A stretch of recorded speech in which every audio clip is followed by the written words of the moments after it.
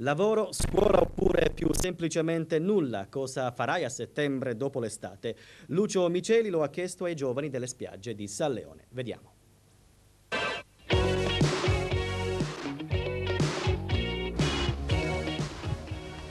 Scuola, lavoro o nulla? Cosa pensi di fare a settembre? Devo andare di nuovo a scuola. Un bilancio della tua estate? È positiva, un mare ogni giorno. Sera a San Leone. Studio sicuramente, speriamo anche un po' di nulla. Come ti prepari ad affrontare il ritorno alle vecchie abitudini? E adesso devo studiare un po' per eh, cercare di spolverare la memoria e dopo comincerò di nuovo ad andare a scuola. Dopo quest'estate passata così abbastanza bene, si può ritornare anche al lavoro. Bello rivedere le persone passate che non si rivede da tanto tempo.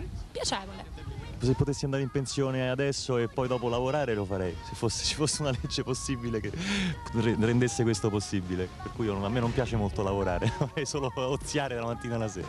Però il lavoro è vita, anche quindi si fa. E con che stato d'animo tornate a scuola? Vabbè, sicuramente con una voglia di fare di fare molto, non so se ci riusciremo, però la voglia c'è, diciamo. l'importante è l'impegno.